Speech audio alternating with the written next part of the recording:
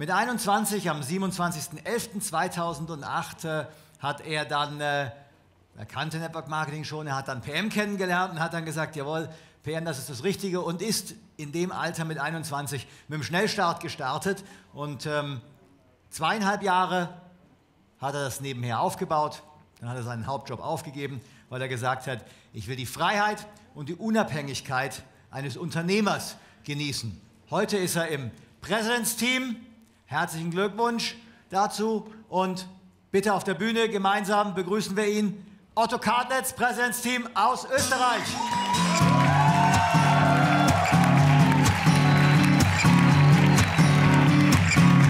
Ci vuole qualche cosa, qualche cosa di più. Ci vuole un po' di pushing, pushing, quando il sole va, il sole Wow. Das nenne ich doch einmal einen Kongress. 20 Jahre. Heute haben wir alle Geburtstag. Wir dürfen den historischen Moment teilen.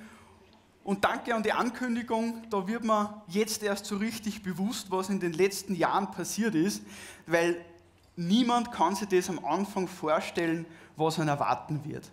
Niemand traut sich vor allem selbst zu. Wir starten ja alle aus ganz unterschiedlichen Gründen. Und so wie es bei mir war, damals mit 21 Jahren, da hat man vielleicht noch nicht so das Selbstbewusstsein, zumindest war es bei mir noch nicht so.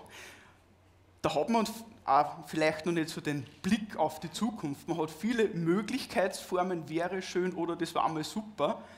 Aber wenn man so wie ich klassisch als Arbeitnehmer aufwächst, so wie es ja, im Großteil uns ja, ja, so ist in der Erziehung, dann ist es einfach so, dass man ein sehr guter Befehlsempfänger wird und Dinge ausführt. Und es gibt aber, und das ist das Spannende, eine Welt außerhalb von dieser Welt. Und die kennenlernen hat mich damals fasziniert. Das kann ich jetzt sagen. Vor sechs Jahren, beziehungsweise jetzt werden es dann bald sieben Jahre, da war mir das überhaupt nicht so bewusst. Denn wie ich, Otto Katlitz, mit 21 Jahren angerufen worden bin, an einem Montag von meinem Sponsor, und der gesagt hat, Otto, was machst du nächsten, nächste Woche Mittwoch um 17 Uhr? Habe ich gesagt, nix, weil da komme ich gerade von der Arbeit, haben wir gesagt, passt, du kommst zu mir um 5 Uhr, weil da lernst du was kennen, das ist vielleicht die Chance deines Lebens. Wie reagiert man drauf? Also nicht, yes, passt, ich komme, sondern, naja, man, oder man zweifelt doch. Das sind doch so Worte, so eine Bauernfängerei, denkt man sich dann, wir sind ja da so, also ich bin zum Beispiel Weltmeister, das wissen viele nicht im Ausreden finden, oder Dinge vermeiden. Und der Spruch, den wir heute schon gehört haben, dass man sich selbst im Weg steht, auf dem Weg zum Erfolg, wenn man nicht mit Menschen spricht und all diese Dinge, die waren mir zu dem Zeitpunkt nicht bewusst. Ich habe gewusst, okay, es geht vielleicht um eine Chance, habe mir natürlich nichts darunter vorstellen können. Ich habe nichts herausbekommen, weil ich habe natürlich vier, fünf Mal nachgefragt, um was geht es da, da erzählen wir da ein bisschen was. Und da habe ich schon gelernt, hartnäckig bleiben. Es geht um einen Termin und es geht nicht um das, dass man jetzt zwischen Tür und Angel was erzählt. Natürlich, immer wieder fällt mir drei rein, aber das sind so die Dinge gewesen, die mir jetzt erst bewusst waren sind. Gut, wo komme ich her? Wir haben es schon gehört. Nach der Matura, das war für mich die schlimmste Hürde, weil ich bin ein absolut schlechter Lerner. Also Schule war für mich immer mit Kampf verbunden. Und ja, dann habe ich beim mittelständischen Unternehmen angefangen, in der äh, chemischen Industrie, im Büro. Und für mich war es immer so, zum Beispiel, jetzt haben wir so einen schönen heißen Sommer gehabt. Und wer vielleicht kennt das, wer man sitzt im Büro oder man ist am Arbeitsplatz ohne Klimaanlage und man sieht draußen Menschen vorbeispazieren mit einem Lächeln im Gesicht und du denkst da, boah, was würde ich jetzt nicht alles dafür geben, die Zeit selbst bestimmen zu können und rauszugehen. Oder im Winter, wer gerne bei Sonnenschein im Schnee spazieren geht, nicht im Büro sitzen, sondern einen schönen Winterspaziergang machen oder andere Dinge. Also es fallen einem ja untertags immer 100 Dinge ein, die man viel lieber täte, als wie jetzt gerade aktuell seiner Arbeit nachzugehen. Und so ist bei mir dann die Idee entstanden, nachdem ich PM, die Chancen und die Perspektive kennengelernt habe, so entstanden, boah, wie schön wäre das, wenn man sein eigener Chef ist. Wo man selbst über seine Zeit bestimmen kann, wo man selbst seine Chancen äh, verwirklichen kann. Und der Beginn bei mir hat angefangen mit einem Produktergebnis. Und ich sage euch, es gibt nichts Schöneres, als wenn man nach fünf Minuten ein Produktergebnis hat. Bei mir hat das eben so ausgeschaut, ich hoffe, man kann es jetzt sehen. Und das war für mich der absolute Aha-Effekt. Weil da gibt es etwas, das funktioniert, da hat man einen Soforteffekt. Und das Schöne ist, ich habe natürlich nicht gewusst, was drinnen ist, wie das funktioniert. Ich habe nur gewusst, Glas Wasser, Pulver rein, umrühren und du hast einen Effekt. Und das Beste ist mehr Energie. Und das hat mich fasziniert. Ja, da habe ich natürlich dann sofort gelernt, weil das war einfach, war bei uns üblich, den eigenen Erfahrungsbericht üben, weil das ist ja immerhin das wichtigste Werbeschild nach außen hin. Brauche ich für Einwandbehandlung, das brauche ich für, fürs Kontakten, einfach für alle Dinge, darum dreht sich alles.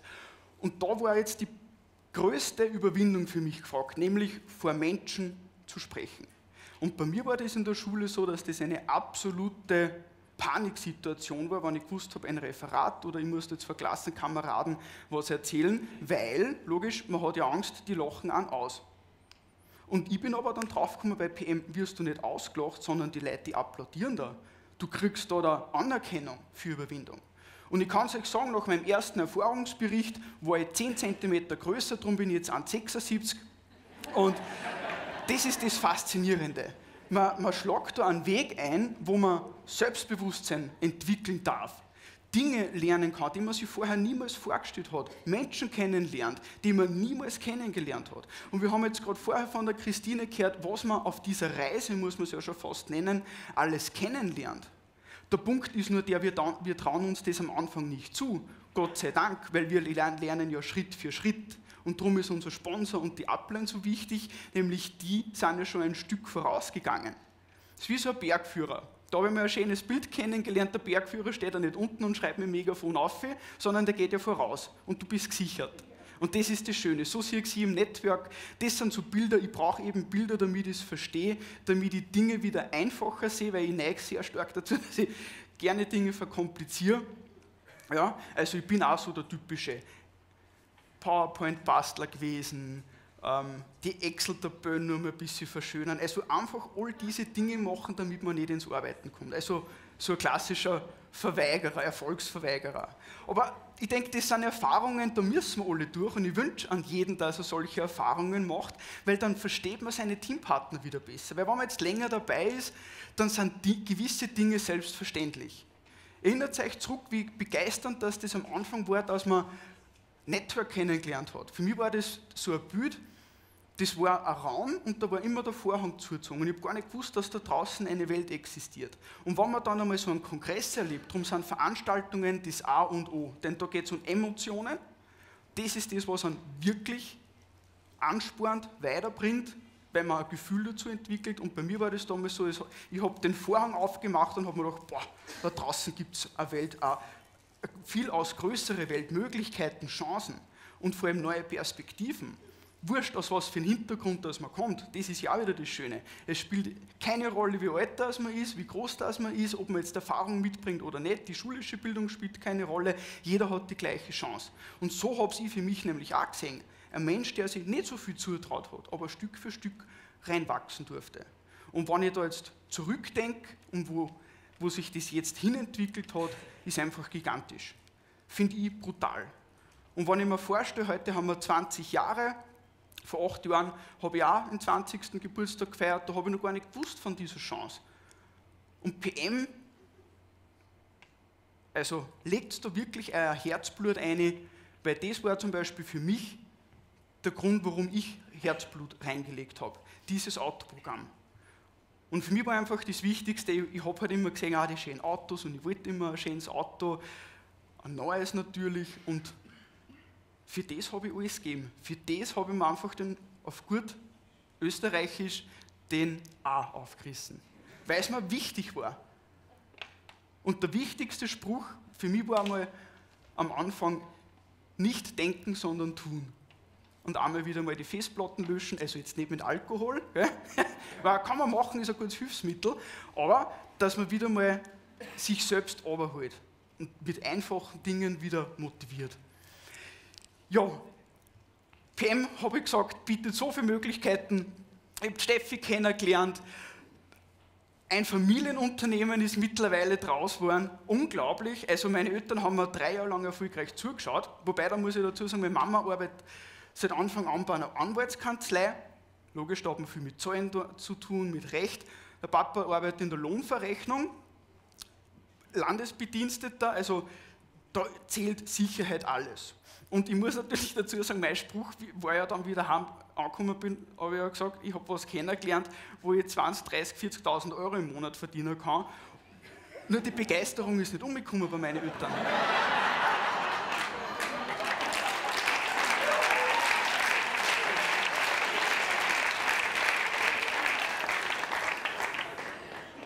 Also war ein bisschen realitätsfremd, war aber spannend dann, dass man Schritt für Schritt sein Nebeneinkommen aufbauen kann. So ein kleines Zubrot, Zusatzeinkommen. Später ist dann einmal ein zweites Standbein daraus geworden und zweieinhalb Jahre nach dem PM-Start ist das Unglaublichste eingetroffen, nämlich ja, mit PM hauptberuflich weiter in die Zukunft zu gehen. Und das war für mich die größte Freiheit. Und auch, hm, dann ist wieder Erfahrung gekommen. Man hat plötzlich eine 9 bis 10 Stunden mehr Zeit am Tag. Und ich habe natürlich die 9 bis 10 Stunden so genutzt, dass ich viel nachgedacht habe. ich bin da ganz ehrlich, weil ich denke, jeder fällt irgendwo einmal da ein. Also man lernt da ganz eine neue Disziplin. Und darum die Kraft, Network nebenbei zu machen, finde ich einfach gigantisch, weil du arbeitest strukturierter, ja, du gehst mit deiner Zeit viel, viel besser um und derzeit habe ich etwas nachgetraut. Mittlerweile habe ich das wieder ganz gut in, in, den Griff bekommen. Aber es sind einfach Erfahrungen, die uns ständig begleiten. Ein riesen Dankeschön natürlich an meinen Sponsor, Franz Brandstätter, der mich von Anfang an an der Hand genommen hat. War für mich ganz wichtig, weil der Sponsor vermittelt ja auch Sicherheit und Vertrauen, beziehungsweise die Ablehnung, wenn der Sponsor noch nicht lange dabei ist. Und ich denke, jeder neue Teampartner ist ja jung dabei unabhängig vom Alter. Das heißt, es ist ein neuer Weg, eine neue Herausforderung, neue Überwindungen und alle brauchen wir da eine gewisse Hilfestellung. Und das ist ganz, ganz wichtig. Ja, Vorbilder. Ich denke, jeder, der jung ist, hat in seinem Leben schon mal Vorbilder gehabt, denen man nacheifert, wo man sich Ideen abholt, wo man sich gewissen, gewisse Verhaltensweisen auch abschauen darf oder anschauen darf und mit seinem eigenen Stil dann ähm, ja, weiter, weiter trägt. Und darum sage ich, sucht euch Vorbilder, Ziele, ganz wichtig. Das Schöne ist, man lernt das, darum gut, dass ihr da seid. Das war die beste Entscheidung des ganzen Jahres, den heutigen Tag zu nutzen. Nur dazu, wenn ihr wisst, was jetzt uns dann am Nachmittag bzw. im Anschluss dann noch alles erwartet, dann werden wir sicherlich nur viel mehr motivierter. Also seid da einfach gespannt. Spaß gehört dazu. Ja, also ich lache gern, ich grinse gern, ich kann auch nicht ohne das ist einfach ein, Teil von mir und ich wünsche das an jeden. Bringt Spaß in euer Geschäft, Lebensfreude in euer Geschäft, macht es locker und leicht. Einfach, das, warum machen Menschen mit? Weil sie sich vorstellen, trauen, das könnte für, für mich auch funktionieren. Darum ist ja unser Job, eher ein Bild von einer möglichen Zukunft zu zeichnen, wo sie sich selber drinnen sehen.